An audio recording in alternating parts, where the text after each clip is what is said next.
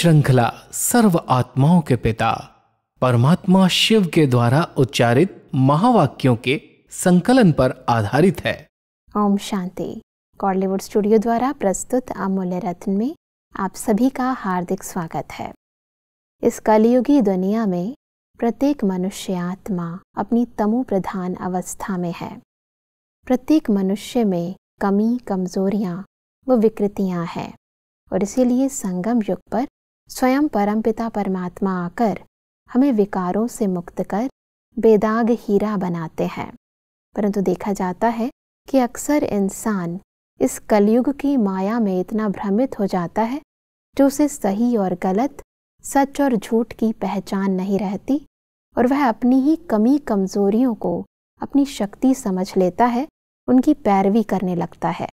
इस मायाजाल को तोड़ने की सहज विधि क्या है?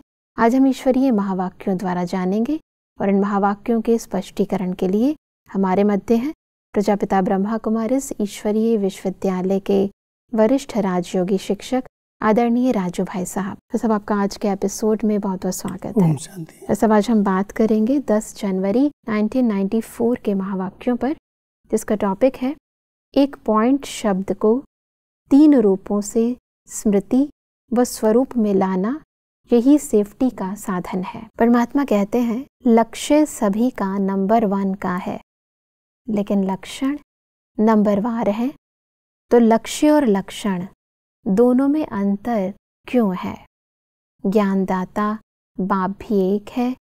योग की विधि भी एक है। दिव्य गुण धारण करने का सहज प्रत्यक्ष प्रमाण, साकार ब्रह्मा बाप भी एक है। सेवा के साधन और सेवा की विधि सिखाने वाला भी एक है। मुख्य बात है पढ़ाई और पालना। दोनों ही देने वाला एक और एक नंबर है। फिर भी प्रत्यक्ष जीवन में लक्षण नंबरवार क्यों? बस अब लक्ष्य और लक्षण की इस असमानता का मुख्य कारण क्या है? परमात्मा जब बच्चों को लक्ष्य देते हैं तो लक्ष्य के प्रमाण उनके जीवन में लक्षण भी आने चाहिए। लेकिन सब कुछ एक होते भी, परमात्मा एक है, ब्रह्मा बाबा हमारे आगे एग्ज़ाम्पल एक हैं। एक जैसी पालना है, एक जैसी पढ़ाई है, लेकिन नंबर नंबरवार बनने के कई कारण हैं। और वो मूल कारण ये है कि एक माला तैयार हो रही है। माला में सभी दाने समान होते हुए भी एक के पीछे एक होता है। माला अगर बनाई जाती है तो आठ की, एक सौ आठ की तो लक्ष्य भले सभी का बराबर एक समान है, पालना भी एक समान है, थोड़ा सा कोई न कोई अंतर लक्ष्य और लक्षण में रह जाता है। तो परमात्मा कई कारण बताते हैं कि पुरुषार्थी आत्माएँ लक्ष्य तो बहुत ऊँचा लेती हैं, लेकिन कहीं न कहीं परसेंटेज में, लक्षण में अंतर आ जाते हैं। पालना होते भी, पढ़ाई एक जैसी होते, सब कुछ प्राप्तियाँ हैं। एक जैसे ही हर चीज़ की पालना पढ़ाई है, लेकिन फिर भी अंतर आता है क्योंकि लक्षण कहीं ना कहीं कोई न कोई रूप में लक्ष्य के प्रमाण नहीं रहते परमात्मा कहते हैं कि नंबरवार होने का विशेष आधार है एक ही शब्द पॉइंट पॉइंट स्वरूप को अनुभव करना। दूसरा, कोई भी संकल्प, बोल व कर्म व्यर्थ है, उसको पॉइंट लगाना, अर्थात बिंदी लगाना। तीसरा, ज्ञान की व धारणा की अनेक पॉइंट्स को मनन कर, स्वप्रति व सेवा प्रति समय पर कार्य में लगाना। बस अब इन तीनों पॉइंट्स को थोड़ा स्पष्ट करें। पहले आत्मा जो पॉइंट है, उस पॉइंट स्वरूप में स्थित रहना, इसके लिए हर एक नंबर बार है। कितना समय वो आत्मिक स्वरूप में, बिंदु स्वरूप में स्थित रह सकता है। दूसरा, कोई भी दृश्य देख करके उसमें प्रश्न उठते हैं या कितने समय में वो फुल स्टॉप पॉइंट लगता है। तीसरा, जो बाबा के द्वारा इतने अच्छे अच्छे ज्ञान रतन मिल रहे हैं, जो पॉइंट्स मिल रही हैं, उन पॉइंट्स को मनन चिंतन स्वरूप में कितना लाया? जितना उसने मनन चिंतन करके स्वरूप में लाया है, उसका स्वरूप बना, कोई भी दृश्य देख करके पॉइंट लगाई और आत्मा पॉइंट है उस स्वरूप में स्थित रहा तो वो स्थिति, ये पुरुषार्थ उसको नंबर वन में ले जाता है। नहीं तो कहीं ना कहीं लक्ष्य के प्रमाण लक्षण में अंतर आ जाता है। जी। तो परमात्मा हम सबको कह रहे हैं नंबर वार बनने का कारण है केवल एक पॉइंट शब्द के अर्थ स्वरूप में स्थित होने में नंबर है। जी। परमात्मा इसलिए कहते हैं कि तो शब्द एक ही पॉइंट है लेकिन तीनों स्वरूप की पॉइंट को समय पर स्मृति में स्वरूप में लाना इसमें अंतर पड़ जाता है।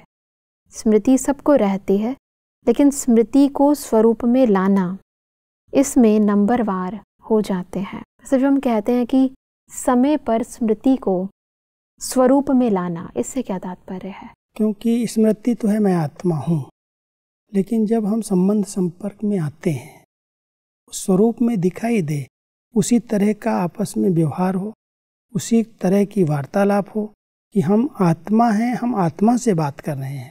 ऐसे ही कोई भी ज्ञान की पॉइंट अगर हमने मनन चिंतन की है कोई ऐसे दृश्य आ रहे हैं ड्रामा के अंदर कोई सीन्स आ रही हैं तो हम उसी समय पॉइंट लगाएँ फुल स्टॉप लगाएँ क्वेश्चन न उठे ऐसा क्यों हो रहा है ऐसे नहीं होना चाहिए। कई प्रकार के जो प्रश्न उठ जाते हैं माना पॉइंट को हमने अपने स्वरूप में ले लाया स्मृति में है कि ड्रामा है हर एक आत्मा का अपना पार्ट है लेकिन जब दृश्य सामने आया कोई ऐसी सीन सामने आई उस समय अगर वो पॉइंट नहीं लगी तो उसमें नंबर बन गए हम्म। अगर जिसने उसी समय लगा दिया ज्ञान स्मृति में था उस स्वरूप में आ गया तो नंबर वन हो जाएगा हम्म। तो परमात्मा हम सबको कई कारण बताते हैं कैसे नंबर वार बन जाते हैं क्योंकि हर एक के आगे परिस्थितियाँ भी अलग अलग आती हैं और हर एक की बुद्धि की विशालता भी अपनी अपनी है जी। उसके अनुसार वो कितना जल्दी से जल्दी ब्रेक लगा सकता है लगती है या नहीं लगती है उसके ऊपर आधारित है जी परमात्मा कहते हैं कि जब लाइट अर्थात रोशनी है, ये रॉन्ग है, ये राइट है। ये अंधकार है, ये प्रकाश है, ये व्यर्थ है, ये समर्थ है। तो अंधकार समझते भी, अंधकार में रहना, इसको ज्ञानी व समझदार कहेंगे। ज्ञानी नहीं तो क्या हुए? भक्त व अधूरे ज्ञानी। रोंग समझते भी रोंग कर्मों के व संकल्पों के व स्वभाव संस्कार के वशीभूत हो जाएँ तो इसको क्या कहा जाएगा? सभी जो आंतरिक स्थिति है कि ज्ञान है, अंधकार का पता है, व्यर्थ का पता है, परंतु फिर भी अंधकार में रह रहा है इंसान और व्यर्थ को ही जीवन में धारण कर रहा है, इस स्थिति को आप थोड़ा सा स्पष्ट करें। कई बार ऐसा होता है कि ज्ञान सब है, समझ भी है, लाइट है, लेकिन व्यर्थ को जीतने की शक्ति की कमी है। जी। कोई भी कार्य पता चलता है रांग है नहीं करना चाहिए। लेकिन आत्मा किसी न किसी संस्कार के इतने अधीन है जो संस्कार प्रबल होने के कारण फिर से व्यर्थ करा देते हैं। आवश्यकता है हम अपने पिछले जो संस्कार कड़े बनते गए हैं उन संस्कारों पर ध्यान दें। अगर संस्कार हमारे परिवर्तन हो रहे हैं तो ऐसे कोई दृश्य आएँगे तो अपने आप को चेंज कर सकता है। कि नहीं ये ज्ञान नहीं कहता ये समझ है तो ज्ञान लाइट होने के कारण वो सहज पार कर सकता है। हम्म। लेकिन कई बार वो परवश स्थिति उससे गलत करा देती है। जी जैसे कई बार कहते हैं इंसान की मैं गलत करना नहीं चाहता परंतु जब उनके संग में आता हूँ जब वो परिस्थिति आती है तो अपने आप हो जाता है। कई बार ऐसे ही अगर आज आप कोई किसी कैदी से मिलें उसके अनुभव पूछें जो इतना दुखी है परेशान है उसका कारण बताएगा। कहता था कि मैं चाहता नहीं था लेकिन ऐसा कोई जोश आ गया जो मैंने कर लिया। हम्म। हो गया। मैं चाहता नहीं था। तो ये एक परवश स्थिति जो है वो उस व्यक्ति को उसमें कंट्रोल नहीं कर पाया और कंट्रोलिंग पावर न होने का कारण कर बैठा। फिर उसके बाद पश्चाताप होता है। ज्ञानी तो आत्मा परमात्मा उसको ही कह रहे हैं जो समझता है कि ये रोशनी के अंदर अंधकार नहीं आ सकता। अगर आ गया है तो मैं अपने आप को कंट्रोल करूँ। तो जो कंट्रोल कर लेता है अपने आत्मिक स्वरूप में स्थित रहता है मालिक बन करके रहता है उससे कोई व्यर्थ कर्म नहीं हो सकते। बिल्कुल। परमात्मा कहते हैं कि अटेंशन शब्द को भी डबल अंडरलाइन करा रहे हैं कि ये प्रकृति की तमोगुणी शक्ति और माया की सूक्ष्म रॉयल समझदारी की शक्ति अपना कार्य तीव्र गति से कर रही है और करती रहेगी।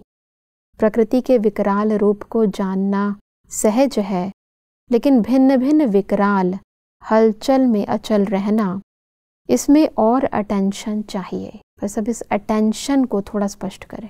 परमात्मा हम सब बच्चों को डबल अंडरलाइन करने की बात कह रहे हैं कि कोई भी बात डबल अंडरलाइन अटेंशन को डबल अंडरलाइन करो क्योंकि वर्तमान समय प्रकृति अपने तमोगुण रूप में अपना प्रभाव दिखा रही है। जी।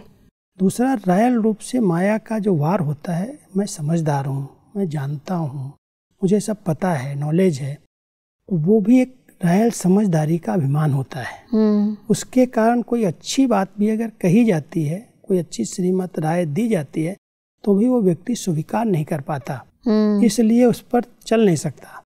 परमात्मा कहता है इस रूप में माया कहाँ सूक्ष्म रूप में प्रवेश करके आप पर वार कर रही है डबल अंडरलाइन करो ये चेकिंग है।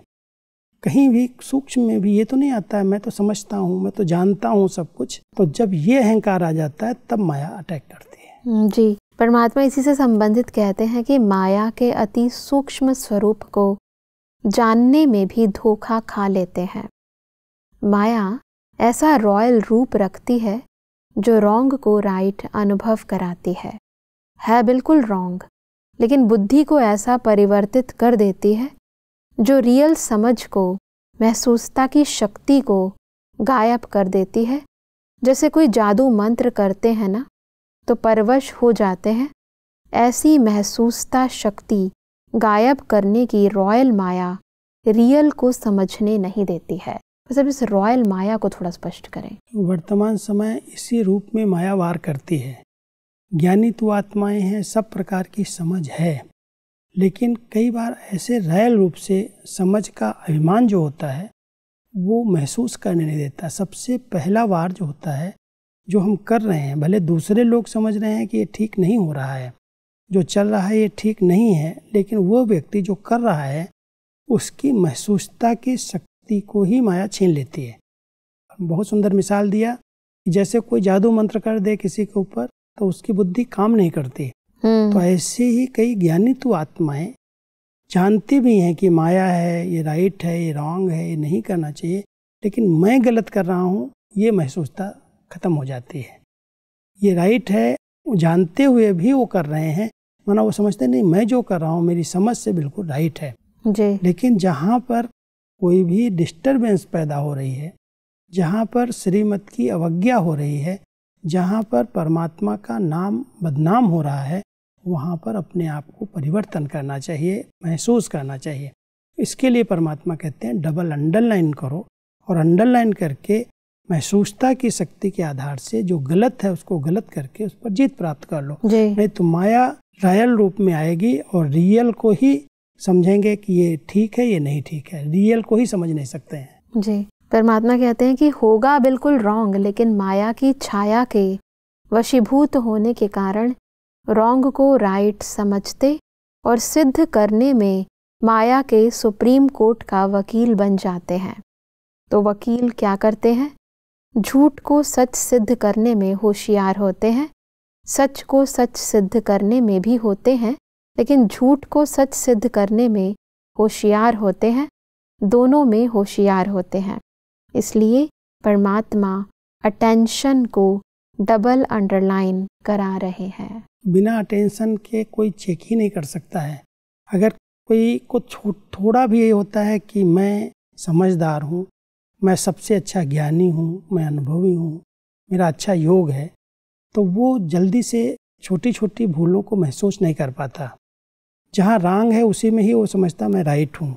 और फिर उस राइट को सिद्ध करने के लिए वो जिद्द करता है। तो परमात्मा कह रहे हैं, जैसे आजकल के वकील लोग, अगर कोई केस को जीतना होता है तो झूठ को, सत्य सत्य को झूठ सिद्ध कर देते हैं। उसके लिए बहुत सारे उनके पास तर्क की पॉइंट्स होती हैं। तो माया भी ऐसे वकील बना देती बच्चों को, जो झूठ है, गलत है, समझ रहे हैं, लेकिन उसको राइट सिद्ध करने के लिए अनेकों पॉइंट्स दे देते हैं। ये है ये है ये है ये है। परमात्मा की जो श्रीमत है उस श्रीमत की बजाय अपनी बुद्धि की मत को प्रयोग करके जो नहीं करना चाहिए वो कर बैठते हैं। इसलिए परमात्मा कहते हैं अंडरलाइन करो। और कई बार ऐसा देखा जाता है कि परमात्मा के महावाक्यों को ही वो अपने तरीके से प्रस्तुत करते हैं। हाँ उसका ये सोचते हैं बाबा ने तो ये कहा है बड़ों ने ऐसे कहा है लेकिन उसके पीछे जो उनका भाव रहा है उनके पीछे जो उनकी सिद्धांत रहे हैं उस पर ध्यान नहीं देते। लेकिन बड़ों ने ऐसे किया है, उन्होंने ऐसे कहा है। तो उस बात को लेकर के अपनी बात, जो गलत है, उसको भी राइट सिद्ध कर देते हैं। जी, परमात्मा आगे कहते हैं कि अगर कोई भी विशेष आत्माएँ इशारा देती हैं तो अच्छी तरह से माया की इस छाया से निकल, बाप की छत्र छाया में अपने को, विशेष मन बुद्धि को इस छत्र छाया के सहारे में लाओ, क्योंकि मन में नेगेटिव भाव और भावना पैदा करने का विशेष माया का प्रभाव चल रहा है और बुद्धि में यथार्थ महसूसता को समाप्त करने का विशेष माया का कार्य चल रहा है। यही दो बातें नुकसान कर रही हैं। एक तरफ़ अगर बड़े को इशारा देते हैं जो निमित्त हैं वो समझते हैं कि ऐसे करना चाहिए ऐसे होना चाहिए। जी। ये जो कह रहे हैं ये किसी की सुनी सुनाई बातों पर कह रहे हैं। ये जो राय दे रहे हैं ये ठीक नहीं है। तो अपनी बुद्धि की जो समझ है नेगेटिव बातों को सोचने की जो अंदर अंदर शक्ति आ गई है नेगेटिव वातावरण है नेगेटिव माया का राज्य है, उसके बीच में उस नेगेटिव को परख नहीं पाते और महसूसता की शक्ति खत्म है कि ये गलत है, ये नहीं होना चाहिए, इससे वातावरण खराब हो रहा है, इससे बाबा का नाम बदनाम हो रहा है, उसकी बजाय वो अपने को ही राइट समझते हैं और बड़ों की बात को, बाबा की श्रीमत को भी साइड करके अपने को सिद्ध करना चाहते हैं। इसलिए परमात्मा हमारा ध्यान खिंचवाते हैं कि ऐसे समय पर जब चारों तरफ़ नेगेटिव वातावरण है, माया का प्रभाव चल रहा है, ऐसे समय पर अपने बच्चों को सेफ़ करने के लिए परमात्मा की छत्र छाया में रहो। सेफ्टी का साधन है, महसूसता की शक्ति को बढ़ाओ। जी, परमात्मा इसलिए कहते हैं कि मन और बुद्धि के ऊपर प्रभाव नहीं पड़े। इसके लिए पहले ही सेफ्टी का साधन विशेष अपनाओ। वो विशेष साधन है, बहुत सहज। एक ही पॉइंट शब्द।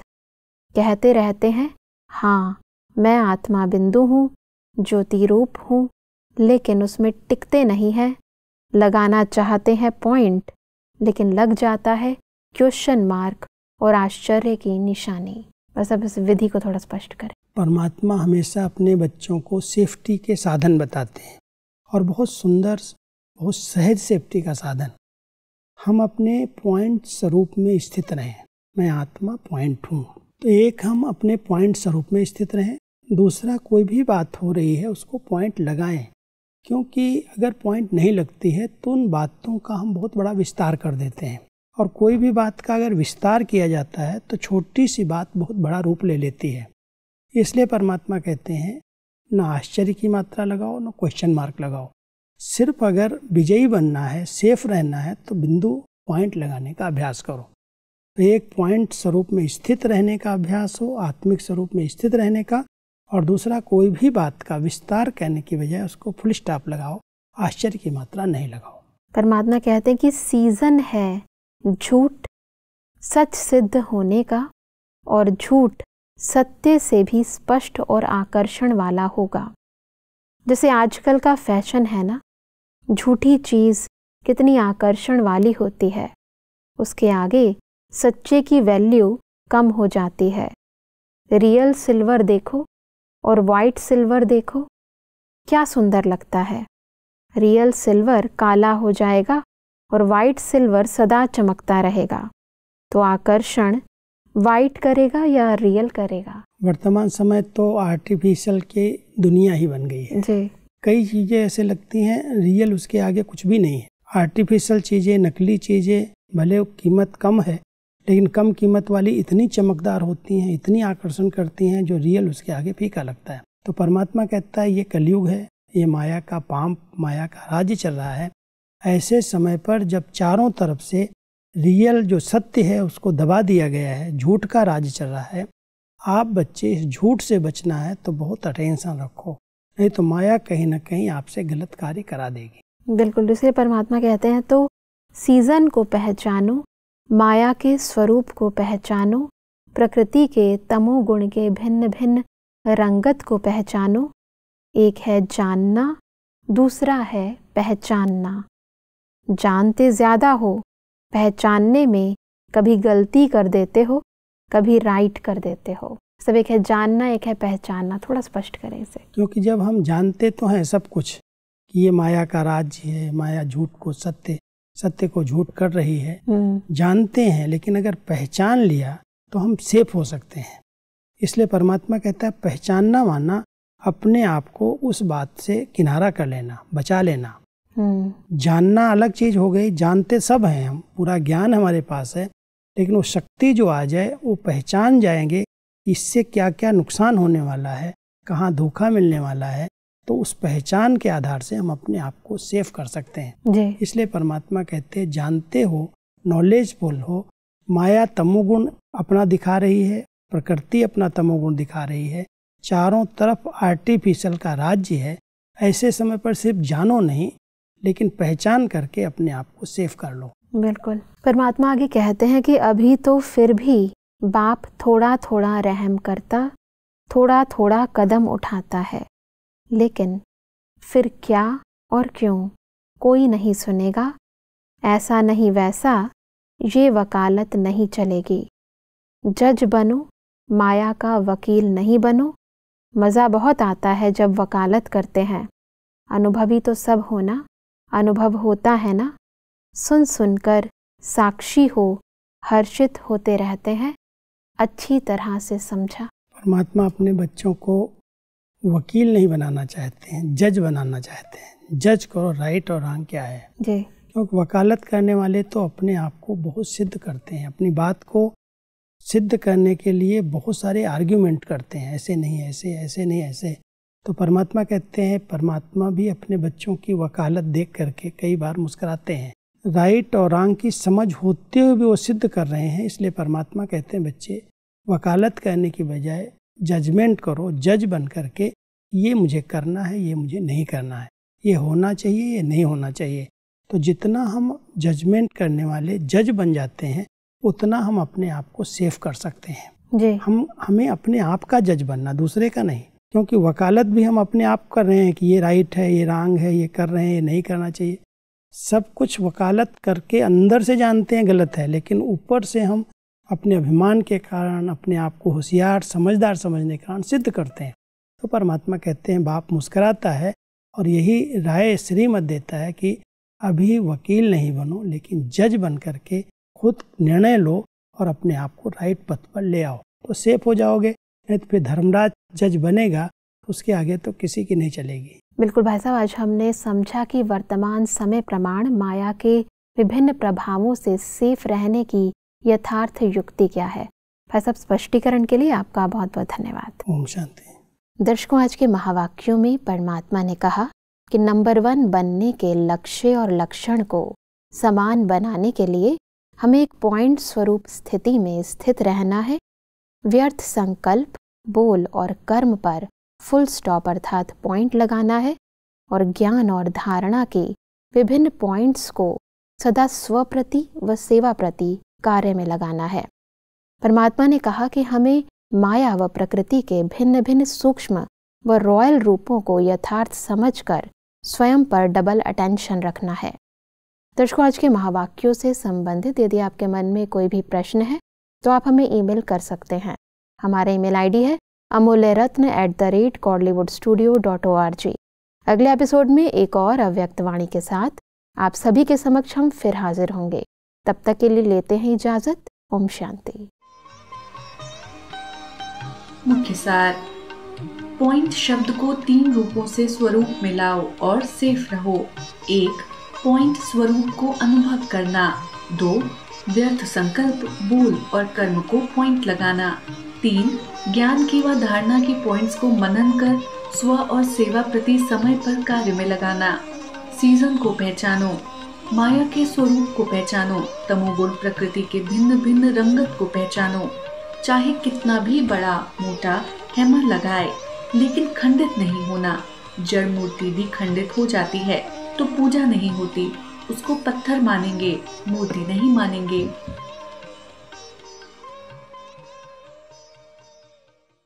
अधिक जानकारी के लिए संपर्क करें। Amulya Ratan, Godlywood studio, Manmohini Van, Shanti Van post. Abu Road तीन शून्य, सात पाँच, एक शून्य district Sirohi, Rajasthan. Email ID है Amulya Ratna at Godlywood studio dot O R G इस श्रृंखला को प्रजापिता ब्रह्मा कुमारीज ईश्वरीय विश्वविद्यालय के सेवा केंद्रों पर क्लास में नियमित रूप से चलाने के लिए गॉडलीवुड स्टूडियो से संपर्क करें।